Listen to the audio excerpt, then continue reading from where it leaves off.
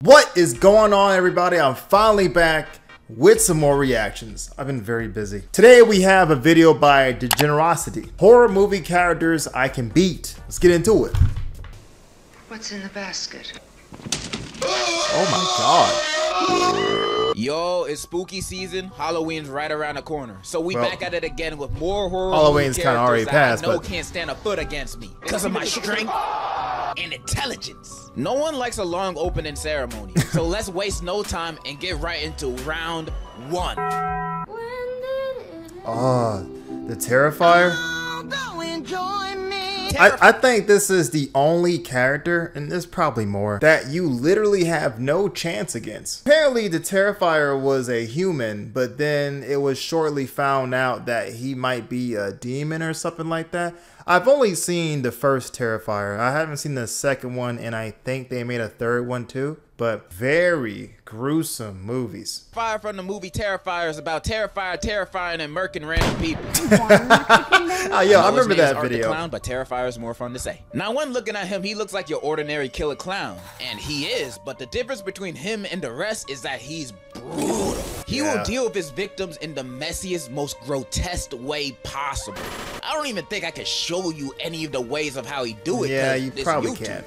but he saws a woman in half from her poon poon to her head in front of her BFF. Mm-hmm. I've seen that. However, I don't think he's all that terrifying based on my observations of him. In the first movie, when we get introduced to him, we as the audience can subtly tell that there's something different about this guy from everybody else. I don't know if you can notice, but this man's teeth is terrible. It looked like he never picked up a toothbrush a day in his life. At you all. can tell he at least got gingivitis or mouth cancer, so that'll lower his stats in a fight against me. He technically fighting two battles at once. He also gets bitched by the pizza shop owner for being weird and creepy. Now, this would have been an amazing moment to jump on. Even though at this point in the movie he hasn't killed anyone yet, him having a staring problem at the shop alongside his whole demeanor If you saw this movie, there's a point in this first opening part where I think he gets thrown out, right? But the guy goes back to the bathroom and there's like shit everywhere. Disgusting. It isn't the most disgusting part that he's done in this movie, of course, but I just found that really gross. And also, I would like to add if a creepy ass clown is staring at you from across the room in a restaurant, I think you should probably, just maybe, get up and leave. I'ma assume he's trying to start something, and we fighting there. And since everyone else in the shop hate him too, they're joining in with me. Cause the way he do these murders, he strikes me as someone you can win against if you can sneak him or come in numbers. I don't know. When he don't got a gun. Now I know he technically a demon since he gets revived at the end of the first and second movie. Right. But he got no other demon powers. Plus his revives takes at least two to three business days to do. Hmm. So I'll have time for seconds. I just gotta be on my toes. This is low to mid diff at best. Nah.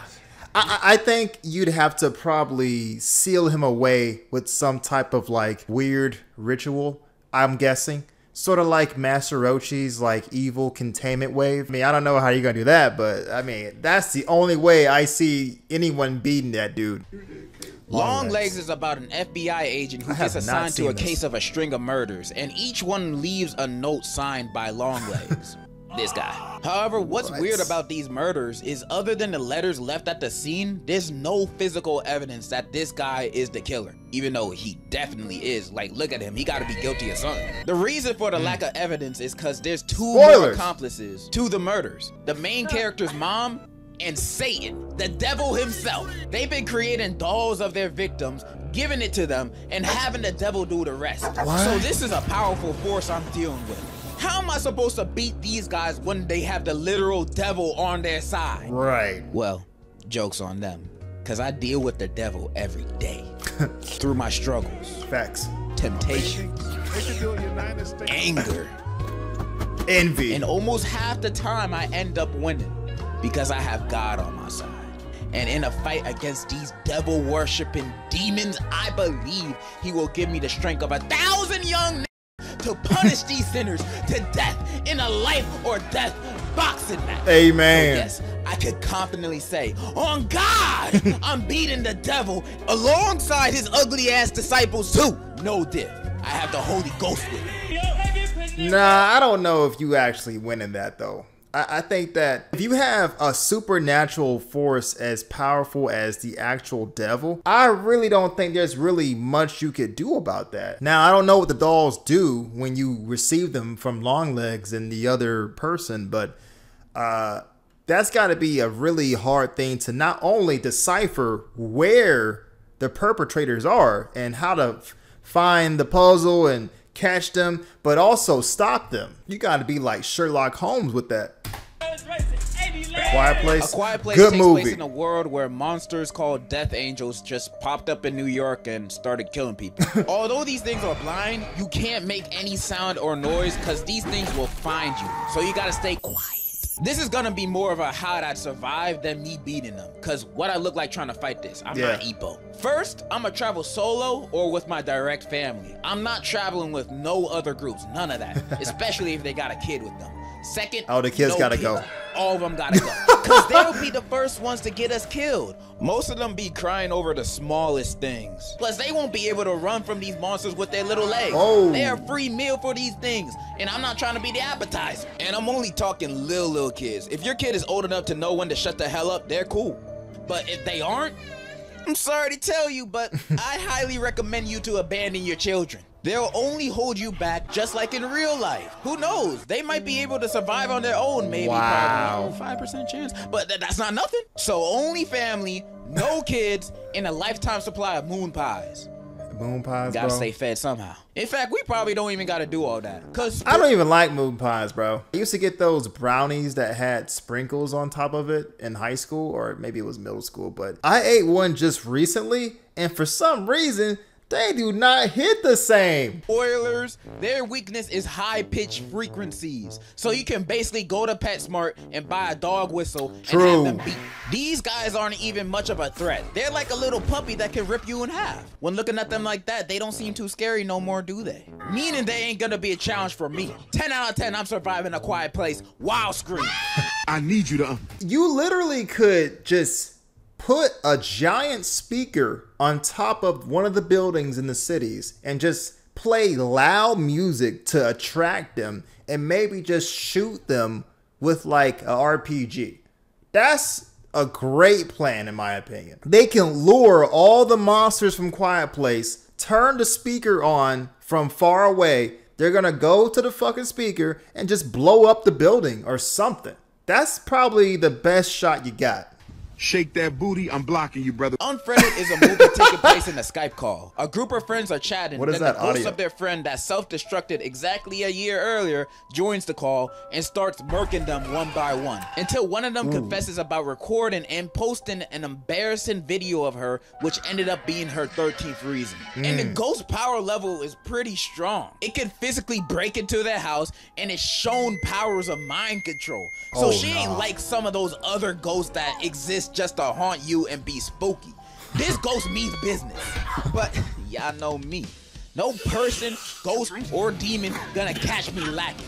I know I can beat this ghost. The only reason these guys had a hard time with it is because these group of friends are dumber than a sack of potatoes. Although they do try calling the police once and attempt to track the ghost down as if it ain't a ghost, they Wow. don't do nothing else to fight against this ghost. They just play along with its death games. And I'm just wondering why none of these guys are leaving. Granted, I'm saying, why not just turn off your computer or just disconnect your Wi Fi?